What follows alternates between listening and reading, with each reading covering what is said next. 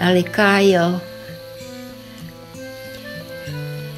můžete mít kdokoliv jakkoliv rád. Může to být ten nejužší, nejtěsnější příbuzný. Mámo, ti nikdo nenahradí?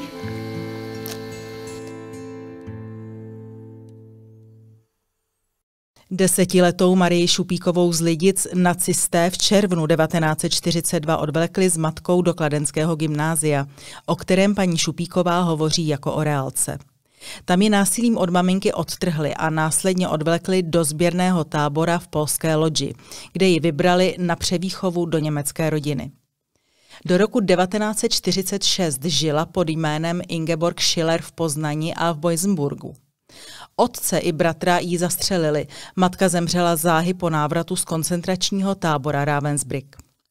15-letá Marie svědčila po válce jako dětský svědek v Norimberku při procesu s organizací Lebensborn. Paní Šupíková po celý život jako pamětník předávala svědectví o hrůzách války mladším generacím. Dnes v jejím úsilí pokračuje právě její pravnučka. O skonu Marie Šupíkové v březnu 2021 informovala světová média. Celostránkový nekrolog přinesl americký list The New York Times. Paní Šupíková poskytla za život velké množství rozhovorů českým i zahraničním novinářům a historikům. Úplně poslední rozhovor s ní však jen několik týdnů před její smrtí vedla její 13-letá pravnučka Karolína. Dobrý den, já jsem Karolina Čermáková, je mi 14 let a tehdy, když jsem vlastně s babičkou mluvila naposledy, což jsem ani jako netušila, tak mi bylo v té době 13 let. Já jsem jí říkala babi Šupí. Byl to strašně super člověk v tom, že ona mi hrozně rozuměla. Byla velice zábavná, vtipná. A ona furt žila, že furt byla mladém ducha, byla svěží, byla pro každou zábavu. Jo, a byl z ní cítit vždycky respekt. Takový ten příjemný, ale jako respekt, že i když třeba k nám přišla do školy, přišla vyprávět, co se vlastně stalo v Lidicích tenkrát, tak všichni byli celou tu dobu sticha, ani kluci nemluvili, všichni byli potichu a poslouchali to, protože vlastně všichni tam z ní měli ten respekt a vlastně byli i rádi, že přišla povídala. Když třeba za ní přišli reportéři, že chtějí udělat rozhovor, tak samozřejmě jsem byla pišná, že prostě babička je jako známa, ale samozřejmě furt to byla ta babička, ke který jsem měla vztah, že zase jsem to úplně jako nerozlišovala. Poslechněte si unikátní rozhovor přeživšího lidického dítěte Marie Šupíkové s její pravnučkou. Rozhovor, který by nikdy nevznikl, pokud by se plán německých nacistů z roku 1942 naplnil až do konce. Pokud by lidice a lidičtí skutečně byly vymazány z mapy světa i z lidské paměti. Ptá se Karolína, odpovídá Marie Šupíková. Já bych se chtěla zaměřit na to, jak to bylo, když tam do vašeho baráku Dobře. trhli ty Němci Dobře. a jak to probíhalo. Ano. To byl večer z 9. na 10. června, už vlastně začínala noc. My jsme byli všichni připraveni, že půjdeme spát. No a najednou byly strašné rány. Venku na dveře, tak tatínek se zase rychle oblékal, šel otevřít, ale než došel k těm dveřím, tak ty vojáci, ty Němci už byli v chodbě, ty nečekali, až jim někdo otevře, ale pažbami rozrazili ty domovní dveře, ty první tady, no a už stáli na chodbě, no a teď na nás začali řvát, abychom se rychle oblékli a že musíme opustit náš dům. No a my jsme nevěděli proč, a i když jsme se ptali, teda tatínek se ptal s maminkou, tak stejně žádnou odpověď nedostal. Nakonec jsme museli ten dům opustit a oni nás odvedli na horáku v statek a tam jsme vlastně stáli, já nevím, kolik bylo od těch devíti, desíti hodin, celou noc až do rána na dvoře stáli jsme, vedle bylo hnojiště, to si tak pamatuju. Tam jsme stáli celou noc. No a když se začalo rozednívat, tak tam přicházeli ale už další lidičtí občané, už si tam začali trousit, no a za chvilku tam vlastně byli všichni občané Lidějc. Tam jsme stáli na tom dvoře, někteří jsme byli, my jsme byli nejdřív v tom sklepě, pak nás vyvedli ven, tak jsme stáli na tom dvoře a čekali jsme, co bude. No, nevěděli jsme, co se stalo s lidicemi, nic. Ale když jsme to, já ne, ale to paní Hroníková, pamětnice, říkala, že když je byli na nádraží, když je odváželi, tak ty Eisenboňa, ty, no, ty pracovníci, ty zaměstnanci těch na nádraží chodili kolem toho vlaku, kontrolovali, jestli je všecko v pořádku a vždycky říkali, lidice hoří, lidice hoří. Takže ty občaní naši vlastně byli ještě nakladně na tom nádraží a oni už ty lidice zapálili. Oni už si to připravovali odpoledne prý, to já nevím, ale to říkají dospělí, že odpoledne už začali jako lidice obklíčovat, to znamená udělali takovou jako, jako mm, no prostě obklíčili to, no z jednoho konce na druhý konec, takže nikdo jako u sebe z jejich vědomí nedostal ani dovnitř, ani ven, ale hlavně ne ven. Jo, dovnitř třeba oni ještě pustili prý, ale ven už jako nikoho. No, no a teďko chodili potom od toho baráku k baráku a kontrolovali, jestli tam ty lidi jsou nebo nejsou. No, my jsme měli tu smůlu, že jsme bydleli v tom prvním domku. Jak to bylo, jestli jste se měli čas rozloučit třeba jako s tím tátou, s tím bráchou, když je... No, mě, oni nás vyhnali, vyhnali na ten dvůr, tam jsme stáli vlastně celou noc a potom ne, nerozloučili, nerozloučili jsme se. Prostě ty vojáci přišli a tatínka odvedli a to byl konec. To už jsme ho neviděli. No a my jsme tam ještě zůstali, No a potom teda víš, co následovalo, že? Že nás děti teda odvezli do té do té lodže, do té reálky, do té reálky potom do lodže. To ještě maminky snad byly nakladně. Někdo tvrdí už, že už byli připraveni na transport do toho Ravensbrücku. Nevím, my už jsme se spolu potom nesetkali. Jaký to bylo, když jsi se loučila s tou mamou, když vás tam přivedli do té reálky a jak jste se pak loučili? Kájo, loučení s maminkou, s bytostí, která ti dala život, která se o tebe starala celých deset let. Těžko já ti můžu slovy vyjádřit loučení, které samozřejmě bylo velice těžké. Představ si, že ty někam to a že budeš muset od mámy. Umíš si to představit, že by někdo přišel a řekl tak a teďko půjdeš pryč. Umíš si to, no vidíš to, já jsem si to taky neuměla představit. A než si člověk tak nějak, jak se říká dneska lidově, než ti to dojde, než si to všechno pochopíš, už je pozdě. Už je pozdě, oh, maminka už byla pryč. Babička byla pryč. Bráchou jsem se viděla naposled v reálce. No, brácha ten taky už se mnou nejel. No, jak skončil, víš, že byl popravený teda v týden po Lídicích. Vlastně on byl popravený v Praze s těmi dělníky noční směny, protože tam zjistili, že překročil tu hranici těch 15 let. Takže Takhle skončila naše rodina. No. Babička s maminkou ty byli v lágru, babička se nevrátila, babička tam zůstala.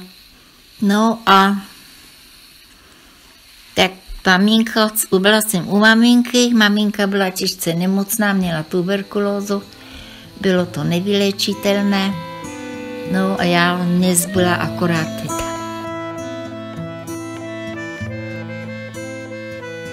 80 let staré události zasahují do životů lidických i dnes. Pravnučka Marie Šupíkové Karolína by ráda po skončení základní školy nastoupila na gymnázium v Kladně. Co by pro ní znamenalo chodit denně do budovy tehdejší reálky, kde její prababička naposledy viděla svého později nacisty zastřeleného bratra a kde jí nacisté násilně odtrhli od její maminky? Do tělocvičny Kladenského gymnázia dodnes chodívají přeživší lidické děti a jejich potomci klást 10. června květiny.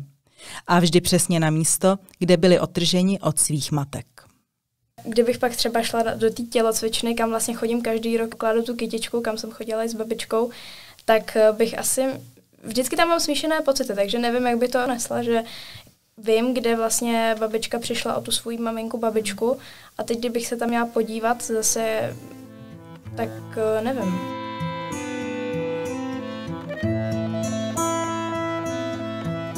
Paní Marie Šupíková považovala za svou povinnost podávat svědectví o tom, co se za války dělo. O své zážitky se dělila jak u nás doma, tak v zahraničí. Při jejím výkladu posluchači ani nedýchali. A čím si je získávala? Dokázala přirozeně rozlišit, jakého posluchače má před sebou a přizpůsobit tomu svůj výklad. Citlivě podávala válečné události dětem. Když dospěli, přidala i kruté zážitky. Hovoří vnučka Marie Šupíkové a maminka Karolínky, paní Ivana Kratochvílová. Babička ještě, když vyprávěla vždycky, tak ona měla mm, ten dar, že věděla, jak vám to má dávkovat. Že vlastně vždycky odhadla, e, co ta vaše duše unese. A až když se mi narodila Kája, tak e, mně teprve den po porodu došlo, co vlastně museli ty ženy a ty děti pak zažívat. I když mi to vyprávěla, tak pořád to člověk jako tak jako úplně nedocitoval, až když se mu narodilo to dítě. A až taky potom mi babička vyprávěla další věci, které předtím mi neříkala. Protože to vlastně dokáže pochopit jenom matka. Třeba to, když je tom Gimplu od sebe odtrhávali. Předtím, než jsem měla Káju, tak mi řekla, no, oni nás tam jako od sebe křičeli na nás a tak, jsme te, tak nás teda ty maminky jako pustili. Oni jim slíbili, že pojedeme dopředu, aby jsme, aby jsme měli pohodlí.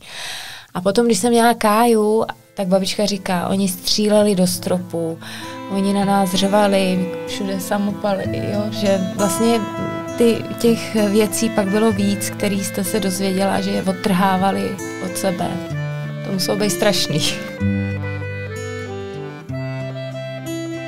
To jsou slova vnučky paní Marie Šupíkové, která jasně dokládají, jak uměla podat krutost německého nacismu a fašismu jinak pro děti, jinak pro jejich maminky, jinak pro historické badatele a jinak pro soudce v Norimberku. Pokračuje rozhovor Marie Šupíkové a její pravnučky Karolíny. Tita Krčková, já nevím, si pamatuješ, nepamatuješ, to byla sestra tatínka, pocházeli z Bělok, bydleli v Lidicích. Teta byla taky vdaná, měla tři děti. Mně přišlo i nevrátilo se jí ani jedno.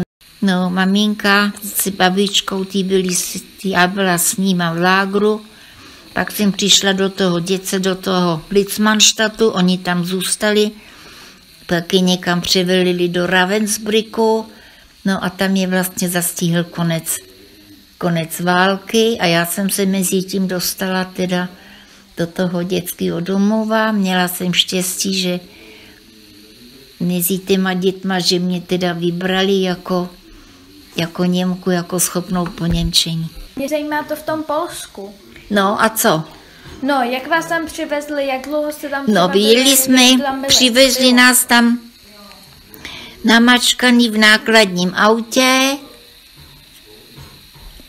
jsme tam přijeli, tam jsme vystoupili a už tam byla pro nás připravený ten prostor, byly to, byla to vyřazená továrna z provozu, byly tam dvě místnosti, no a do, do těch dvou místností jsme se naskládali, bylo nás kolem stovky náš dětí, no a tam jsme prostě čekali, co bude dál. No a já nevím, po týd, po 14 dnech, 10 dnech, tam prostě přišlo gestapo, nechali si nás sednout na zem, chodili mezi námi a sem tam na někoho ukázali. No a bylo nás šest samý děvčata a tam byli mezi ty sourozenci sestry Hanfovy, pamat znáš je Karásková, co je, a ty, Pinčáková. To byly dvojčata, ty měli toho no. kluka, vej? A tam zůstal ten vinoušek, ten jejich brácha, mezi tou velkou skupinou. Já už jsem byla vybraná, to už jsme byli vybraní, nás šest. No a oni začali plakat, prosili, že slíbili mamince, že se o toho brášku postarají. No a no tak ho vybrali, tak jsme byli v té loďi, v tom sběrném táboře, pak jsme přišli do druhého tábora v loďi, tam už to bylo lepší, protože v tom prvním jsme spali na zemi, spali jsme v oblečení, ve kterým jsme byli, neměli jsme se kde posprchovat, umít, chodili jsme špinaví. Až když jsme se pak dostali do toho druhého tábora, kde už byly ty postele a to už nás tam bylo vybraných sedm jenom, tak se tam o nás postarali, to znamená, mohli jsme se vykoupat, osprchovat, jo. Dostali jsme oblečení náhradní, dostali jsme i noční úbor, no a tam už jsme potom zůstali a já nevím, asi měsíc nebo jak dlouho.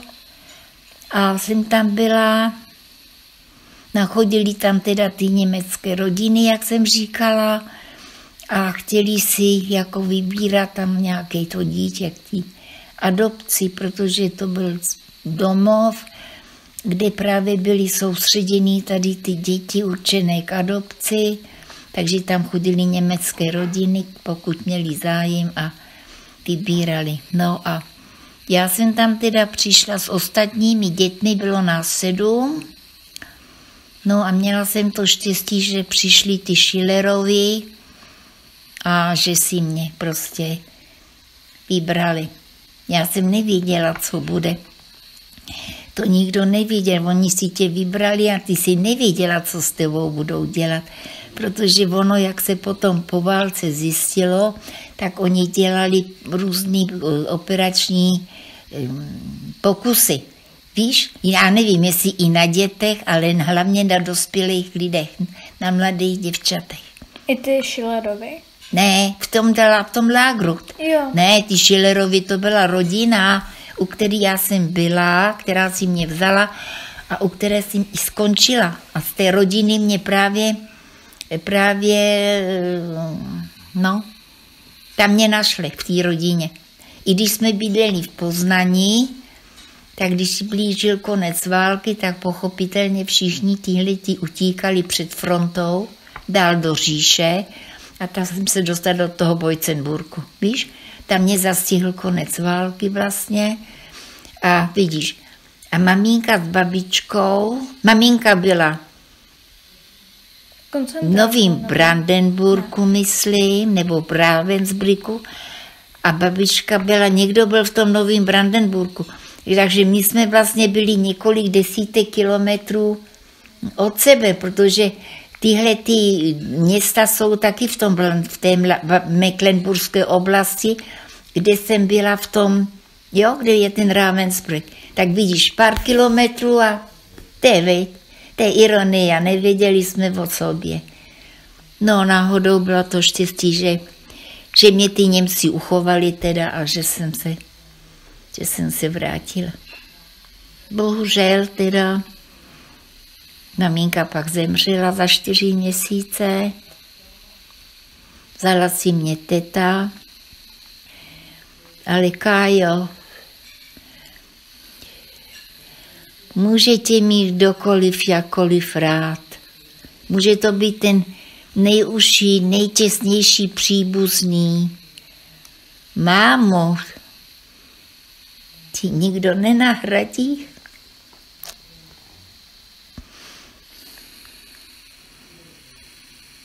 Je to smutný, veď. Ale štěstí akorát to, že jsem teda, že se maminka vrátila a že jí drželo i to při životě, že se dozvěděla, že mě našli a že si vracím domů. To jí také drželo při životě, no nicméně ona měla těžkou tuberkulózu a za čtyři měsíce po mém návratu zemřela. Takže jsem zůstala zase sama, byla jsem u té tety, to byla tatínková sestra, nebyla zlá, ale byla velice přísná, což asi bylo nutné v té době, protože mě bylo kolik, 14 nebo 15 let. Takže byla jako dost na mě přísná, takže ze mě vykovala teda pořádnou dívku, že jsem nezvlčila, jak se říká, nezvlčila že jsem neměla ty rodiče, že se o mě opravdu postarala, což mamince na smrtelní posteli slíbila.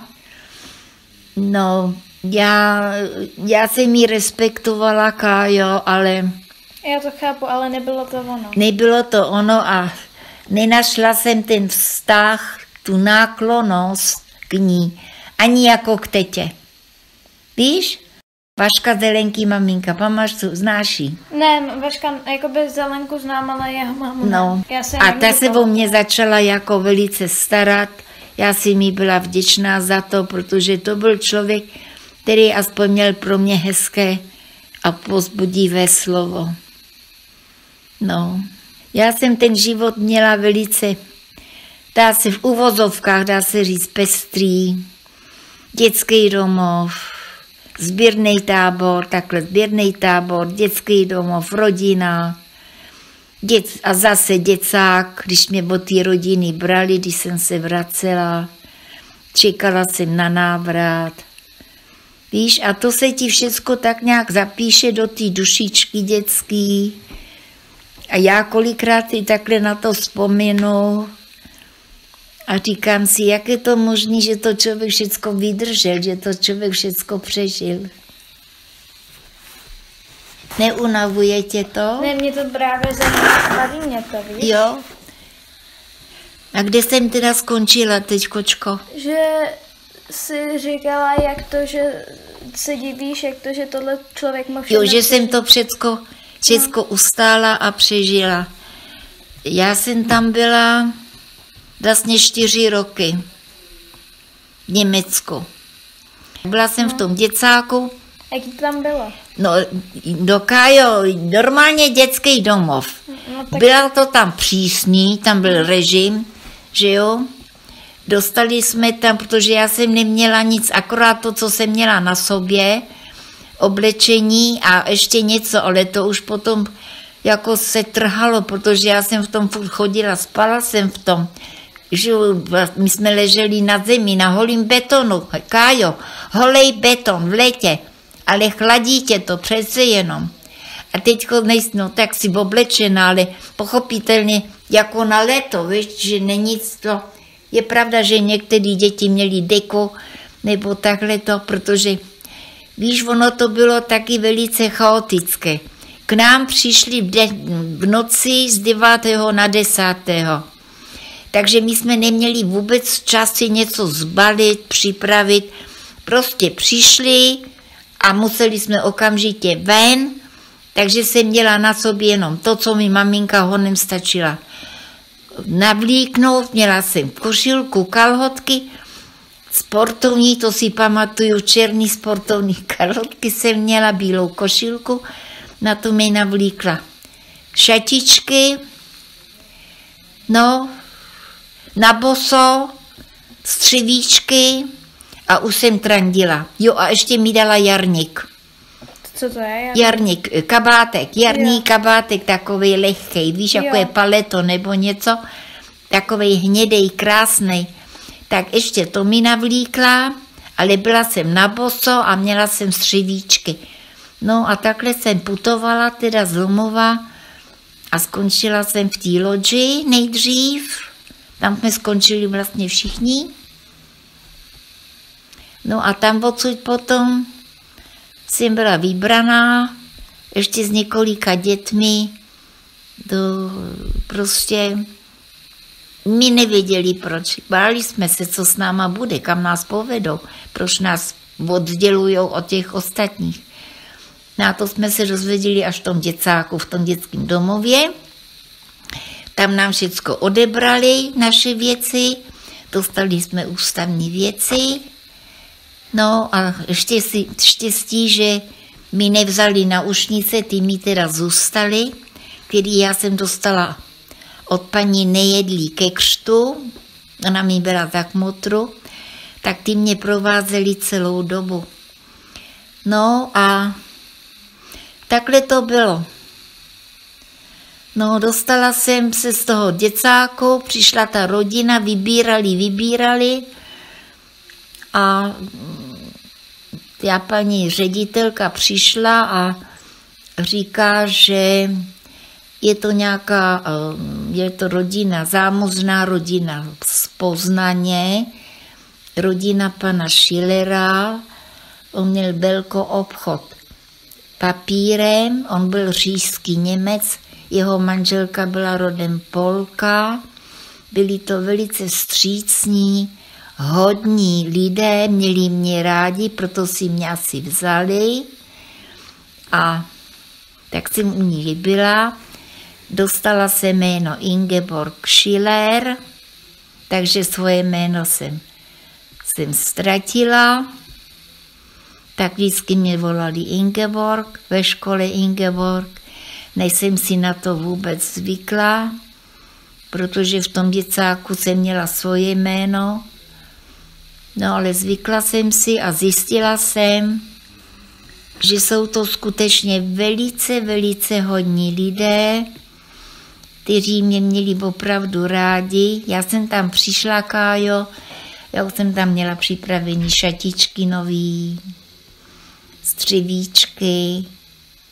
Opravdu se o mě moc starali, vzali si mě jako za svý, protože ta paní Šilerová Nemohla mít děti. Měla a Jany si měli dva, dvě děti, chlapce, nebo umřeli. A oni už byli ve stáří, No, paní Šilerový bylo už kolem přes těch 40 něco, panu Šilerovi taky těch 50. Jak to, že umřeli ty synové?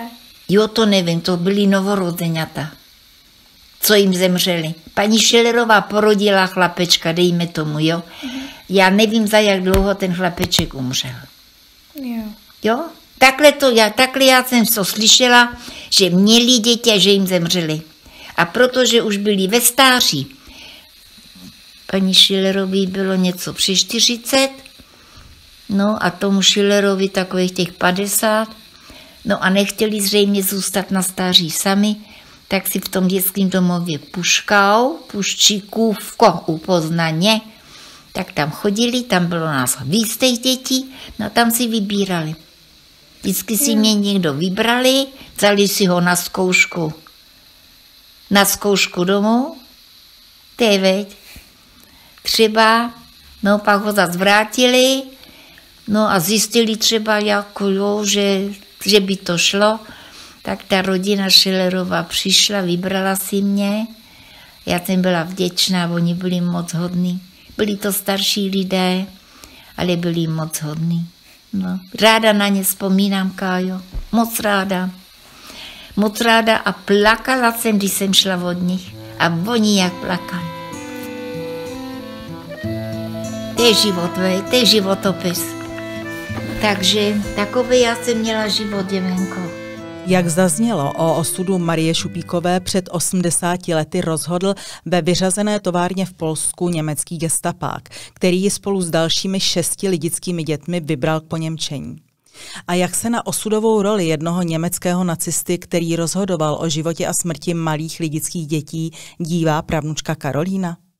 To je neuvěřitelný, jak stačila jedna minuta k tomu, aby vlastně se rozhodlo o osudu nás všech, o my, mamky, babičky, jejím. Takže to si velice uvědomuju, protože kdyby tenkrát uh, jí ten gestapak nevybral, tak vlastně by jsme tu nikdo nebyl a vlastně by to bylo úplně jinak všechno.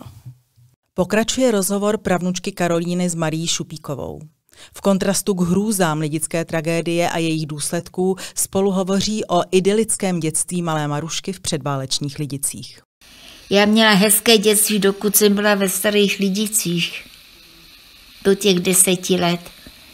Ale pak už to nestálo moc za nic, protože každý už má na to svůj dospělý ten a každý už mě řídil jinak. Já vím, že měla tu holku, že se jí nevrátil, ale já jsem za to přece nemohla. No jasně, no. Já bych bývala radši, kdyby se mi bývala maminka uzdravila, což nebylo možné, protože měla velkou těžkou tuberkulózu, anebo babička. Tu se milovala, ta milovala mě. To byla maminka její. Ta mě většinou vychovávala, protože maminka chodila do práce sedlákům, my jsme měli malý, no ne hospodářství, měli jsme různý ty, měli jsme prasátka, teda čuňátka, kozičky, eh, husy, kachny, takže jsme se museli starat, aby měli, byla nějaká pro ně obživa. No a proto jako já, dítě a ostatní z lidický, vždycky chodili v houfu na pole, kde bylo sklizeno, tam jsme nahnali husy, Oni chodili po poli, sbírali to zrníčka a my jsme sbírali klásky. Jo? No a na podzim mezi potom pekli brambory v nati. Takže já mám jako na dětství hezký vzpomínky. Takový ty, opravdu ty dětský, ty venkovský. Baví tě to? Jo. Jo. A jaký to bylo jakoby před válkou, než... Před válkou. No jakoby než tam vtrhli ty Němci, když si pásla husy a tak. No podívej se, mě bylo, tak? no, mě bylo kolik? Mě bylo deset, deset, když se to stalo.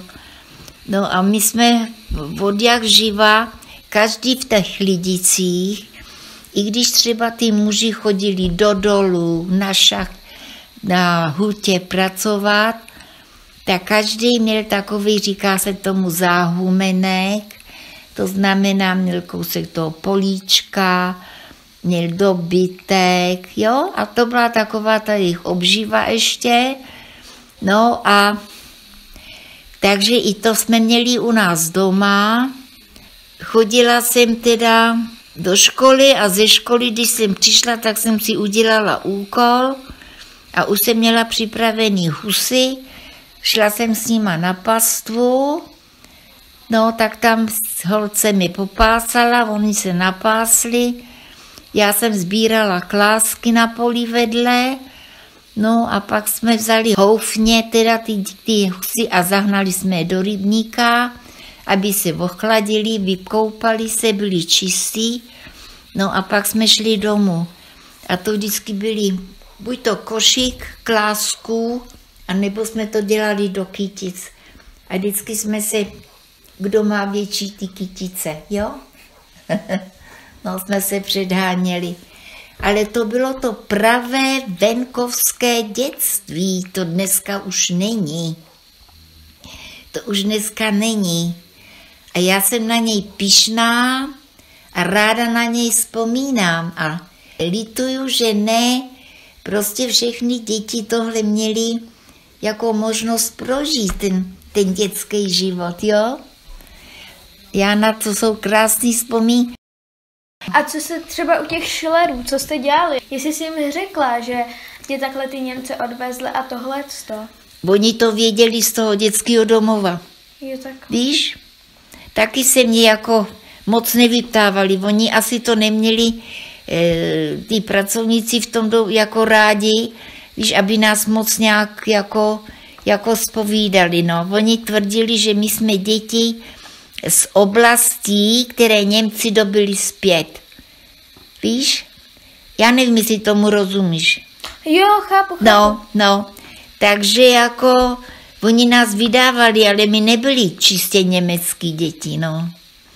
Ale mně to bylo jedno. Hele, já jsem se německy naučila, nelituju toho, mluvila jsem perfektně, protože když jsem se vrátila, tak ze mě nevypadlo slovo česky. Já jsem, jenom, já jsem jenom Němčila.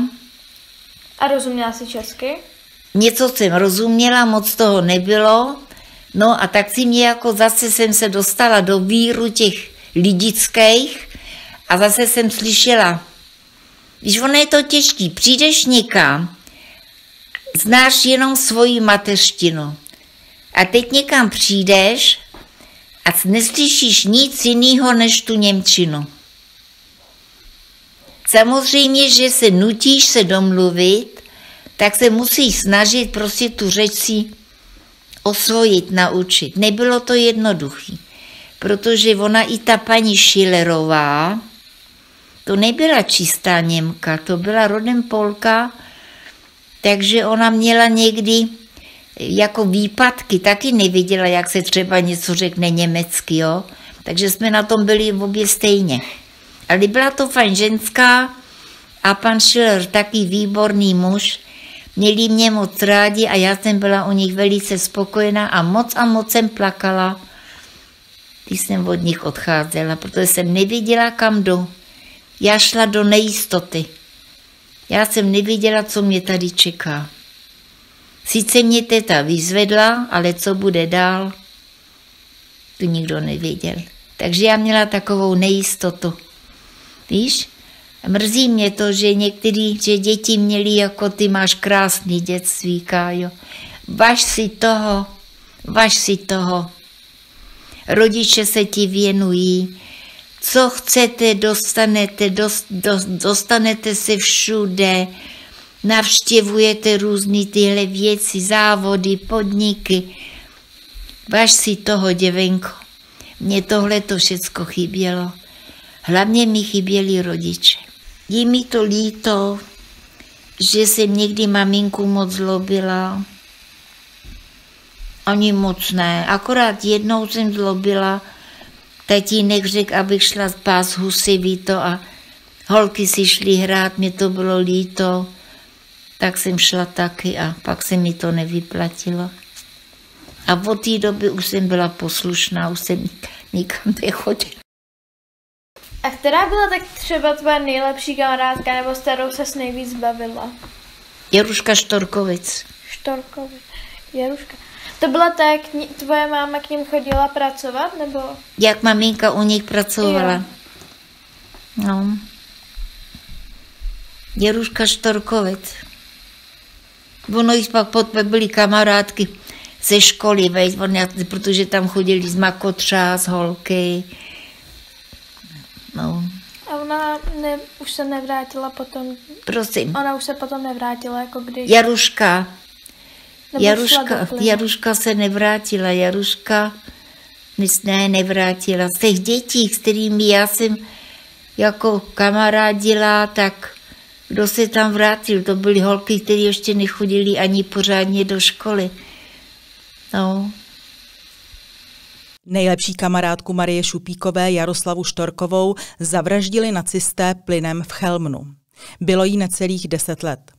Jejího otce při vypálení lidit zastřelili, babičku zavraždili plynem v Osvětimi. Její maminka Jaroslava jako jediná z rodiny přežila. Vrátila se z koncentračního tábora Ravensbrück a žila do své smrti v Nových Lidicích. Manžela i dcerku přežila o 36 let. A ona jako by skončila v no tom to byly většinou, to, že nás bylo Anička Hanfová, Maruška Vašek, ty jo, to byly děti, které byly vybraný se mnou, Emilka Frejová. A to už byli, co chodili do školy. Emilka chodila, nevím, do sedmičky, do šestky. No a Anička, Maruška, ta chodila už potom do Měšťanky. Vašek Hánf. To už ani není Kájo pravda. Člověk, když takhle nad tím přemýšlí a uvažuje, tak si říká, jestli se mi to všechno jenom jako nezdálo, jestli to nebyl nějaký božklivý sen. No ale potom, když si koukneš vedle, tak nebyl. Tak zjistíš, že ne, že je to holá, tvrdá skutečnost. Že člověk může v mládí, v deseti letech přijít o všechno, o domov, o rodinu. Štěstí jsem měla teda, že si maminka vrátila. No, ale bylo to smutné. Nikomu bych to nepřála, tohleto. Dostaneš se mezi cizí lidi, někteří jsou hodní, někteří tě zneužívají. Není to dobrý. To máme debatu, veď? A tak mě to zajímá, protože to, co ty víš, Kájo. je to pravda a víš jako... Kájo, já jsem ráda. Mě to Ty- zajímá, protože sice jsou, dneska si můžeš na internetu to najít, to všechno bylo, ale z živý paměti, kdo má možnost, víš jako, Já ti rozumím. Hele, to nikdy. Hlavně to já pak to ti nikdo, to ti nikdo nemůže dát, můžeš jim to vyprávět, rozumíš, ale pořád to někdo interpretuje. Jo? Nejseš to ty, osoba, která opravdu tohleto, tohleto zažila, ale jenom to někomu předala. Rozumíš mi?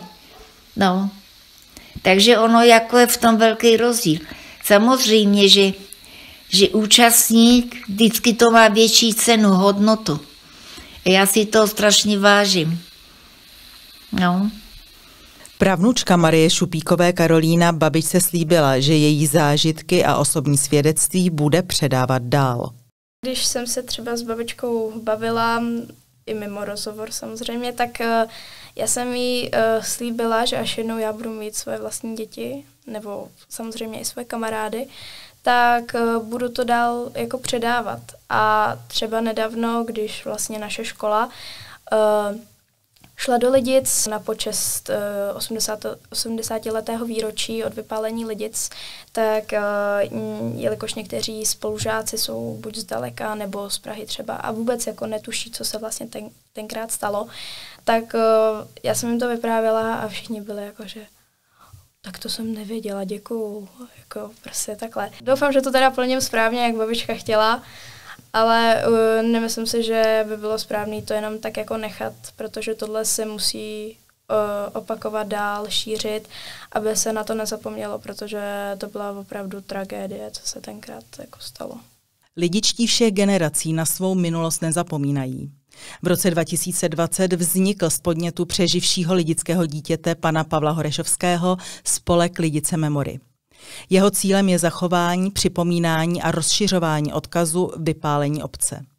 O úkolu třetí a čtvrté generace lidických hovoří vnučka paní Šupíkové Ivana Kratochvílová. To je náš právě úděl, proto jsme i vstoupili do té skupiny Memory, do toho združení, kdy vlastně cítíme, je nás mnohem víc eh, těch dětí eh, nebo vnuků, pravnuček, kdy vlastně jsme pocítili eh, v momentě, kdy umřela vlastně babička Šupí a pan Zelenka, že vlastně máme povinnost nést dál tu historii, protože oni se o to celý život snažili, protože nechtěli, aby se to opakovalo, proto eh, ať na základní školu, na vysokou školu, na besedy, aby těm lidem vyprávěli, co už se nikdy nesmí stát. A my jsme si uvědomili, že vlastně my máme teď povinnost velkou uh, dál tu historii uh, nést za ně. Že vlastně máme velké břímě a velkou povinnost. No. Opravdu s Michalem Zelenkou jsme se shodli a je nás teďka hrozně moc skupina, která se přihlásila do toho memory, že budeme a doufáme, že ze zhora na nás koukají a že říkají, že snad to děláme dobře. Život Marie Šupíkové v době válečného poněmčení se prolnul do její vlastní lidické rodiny v 90. letech minulého století. Dětství malé Marušky u Šilerových a cestu po stopách adoptivních rodičů o 50 let později přibližují prababička, vnučka a pravnučka.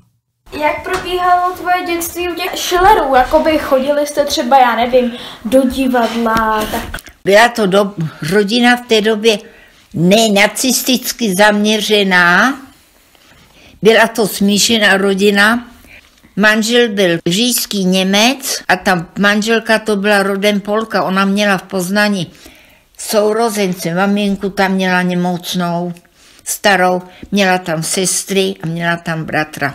Byla to velice moc hodná rodina, nebyli v žádný partaji, na žádný srazy pan Schiller nechodil. Pan Schiller měl velkou obchod papírem, měl tam pohlednice, dopisní papíry, obálky, no prostě různý ty papíry. A já jako adoptivní dcera, jako Ingeborg, tak jsem tam chodila, tam jsem někdy i jako pomáhala v tom skladu, mě to bavilo. A tam byla zatím tam, co on měl tu kancelář, tu, ta budova, co byla, tak byl průjezd do parku, tak tam jsme chodili na kafe, víš, a já když jsem se vrátila, když se mě jako vyptávali, tak jako, je, oni měli službu, a to mi vždycky někdo vyčte, když jako povídám a to říká, no jo, vy jste měli služku, že jo? Já říkám, no já za to nemůžu, asi si to mohli dovolit. Já jsem možná měla to štěstí, když si vemu, jak ostatní děti skončily všechny. A jak takové štěstí v neštěstí vnímá pravnučka Karolína? Když jsem se rozvěděla, že k ní byly hodní, že jí brali třeba průsled a takhle plavat, tak uh, jsem byla šťastná z toho, že vlastně nebylo jenom všechno v té válce jako špatný, co se jí stalo, že tam byly chvilky radosti a tohle. Kdy jsi s nima viděla naposledy? Naposledy jsem se s nima viděla v tom srpnu 46. No, v srpnu 46, protože 8. 7. srpna 46 jsem se vrátila. To měl tatínek narozeniny. Po stopách Marie Šupíkové, přejmenované při poněmčení na Ingeborg Schiller, se v 90. letech vydala celá její lidická rodina. Vzpomíná vnučka Ivana Kratochvílová. Jedno léto babička vyhlásila uh, pátrání po svých stopách, že jsme opravdu sedli celá rodina do auta, uh, já, bratr, rodiče, babička a jeli jsme vlastně na ty místa, kde žila s tou rodinou uh, Schillerových. Našla dokonce i ten obchod, já si to doteďka pamatuju, a babička vždycky nám k tomu vyprávěla. A dokonce se povedlo, že jsme našli statek, kde žil uh, ten bratr. A já si to pamatuju, protože pro mě to byl starý pán, stará místnost, ale řík, babička mu vyprávěla, mluvila s ním německy a on ji poznal. On si vzpomněl, že jak chodil do té rodiny, tak babička říká, ano, on si mě pamatuje. Tu malou holčičku si pamatuje. A bylo to hodně silný že on si na ní vzpomněl a ještě říkal, jo, ty jsi ta holčička, co hrála na klavír. Oni totiž, to bylo strašně zajímavé. Já jsem vůbec nevěděla za celou dobu, že babička umí hrát na klavír. A ona, ta rodina Šilerových, i učila hrát na klavír. A až když jednou byla u nás a Kája jí hrála na klavír, tak si sedla a něco zahrála. A já říkám, babi, ty umíš hrát na klavír? A ona, jo, ale nechci hrát. To mi babička vyprávěla, že vlastně přišli mm, na ten úřad a Ona myslela, že mm, se rozloučí, ale že prostě otevřeli dveře, pán řekl, pojď dovnitř, babička šla, zavřeli dveře a už se nikdy neviděli. Poslední rozhovor přeživšího lidického dítěte a vůbec poslední setkání Marie Šupíkové s její milovanou pravnučkou Karolínou se chýlilo ke konci. A ve vzduchu zůstala vyset jediná otázka. Jak lidé vůbec mohli něco takového udělat? Že je stejně hustý to, že ty Němci měli žaludek na to, aby prostě zavřeli děti do plynu a zabili je. Víš, jako to, já ti rozumím. Lidi. Já to nemůžu pochopit. Ty to byli lidi, byli to tátové od rodin, kteří taky měli děti. Rozumíš? Ale oni tohle to udělají jiným dětem. Jenomže tomu děvenku my nerozumíme. To byly slovenské národy a Němci si je chtěli podmanit, nenáviděli je No a tak se bohužel začali mstít i tímto způsobem. Aby jsme se nemnožili jako, tak prostě zašla tahle ta likvidace. Bohužel je to tak. Já nevím přesně, ale kolik dětí v tom Chelmnu zahynulo. To se nedá snad počítat ani.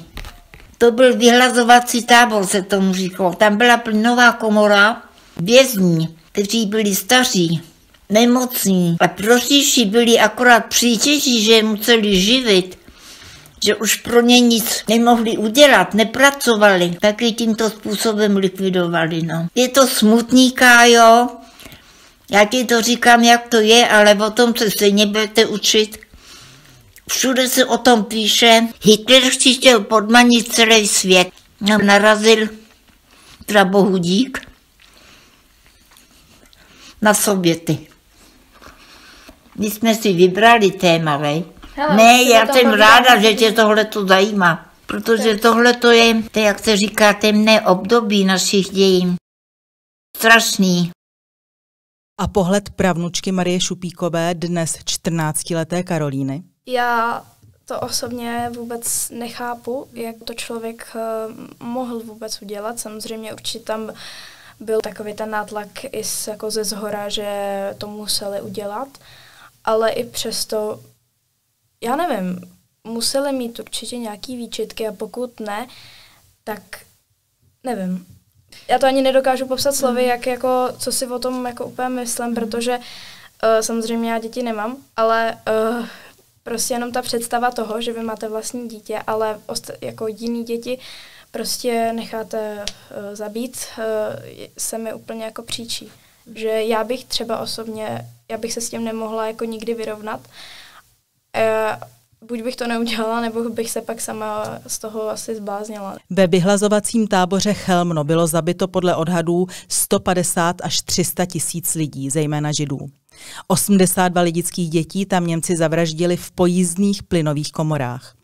Ale ani zavražděním lidických mužů a většiny dětí, ani odvlečením lidických žen do koncentračního tábora, ani vypálením obce, ani posunutím koryta potoka, ani zasypáním rybníka, do kterého chodila malá Maruška koupat husy, dokonce ani likvidací místního hřbitova historie lidic neskončila. Naopak. Hovoří vnučka Marie Šupíkové Ivana Kratochvílová.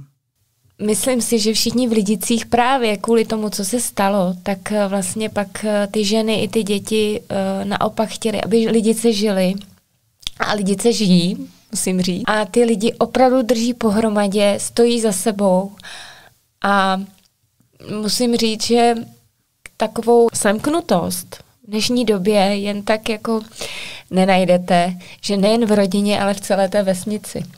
Takže se snaží všichni ten odkaz držet, ale myslím si, že sice tragédie, ale vlastně ty lidi strašně spojila a naopak my jsme vyhráli, protože lidi se žijí. Já jsem strašně ráda, že když jsem s ní teda mluvila naposledy, že to byl takovýhle rozhovor. A že jsem vůbec jako ráda, že než vlastně babička umřela, že jsem vlastně stihla všechno to vlastně. Když jsem byla malá, chodila se mnou ven, chodila se mnou eh, na pětní území, tam mi vždycky říkala, Karolínko, tady musíš být eh, potichu, tady se jako drží ta pěta, tady se jako neskáče, neběhá a tak. Takže hm, je to smutný, no. Chybíme.